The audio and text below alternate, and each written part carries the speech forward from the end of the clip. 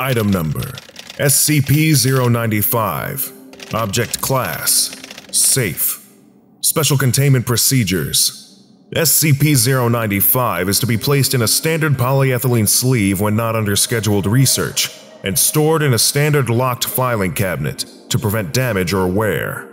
High-resolution digital scans are available for any Level 1 and above personnel who wish to view SCP-095. Description SCP-095 appears to be a set of three moderately aged black and white comic books, printed in 1932. The front and rear covers are missing, and several pages have been rendered illegible due to water damage. It was found by Agent in a small antique shop in Denver, Colorado, and purchased for a small fee without incident. The owner of the shop had apparently not read the item past the publisher's date on the first page. Forensic inspections of SCP-095 have revealed it to be genuine, though completely unremarkable save for its content. It is printed on cheap pulp paper and inked with dyes common to other publications of its era. The publisher's stamp indicates it was produced by Future Funnies, a company operating out of the town of Purple Lake, Ohio, all research and inquiries thus far have shown both the company and the town to be completely non-existent.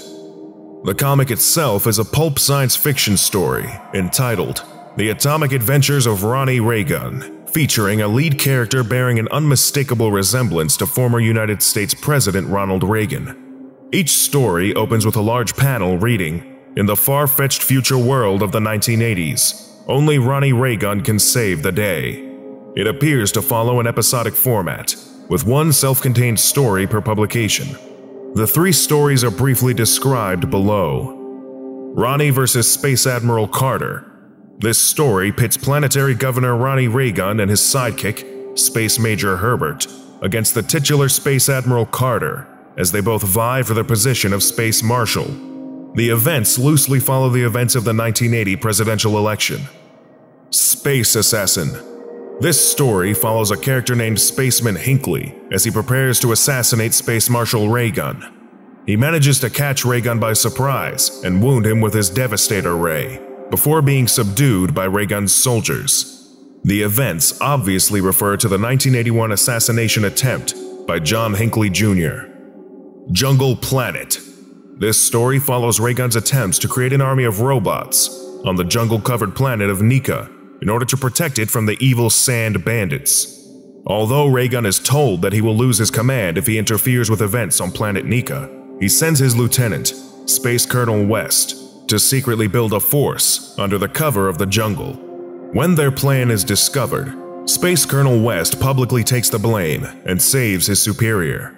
The storyline appears to be a simplified retelling of the Iran-Contra controversies of 1986. Possibly most interesting is the final page of each book, which advertises other stories published by future funnies. Investigation is underway to locate any surviving copies at once. The advertised stories are listed below. Space Major Herbert assumes command. Starman Willie versus the Space Succubus. Globe Walker in Sneak Attack. Barry Beetlejuice on planet Afgar.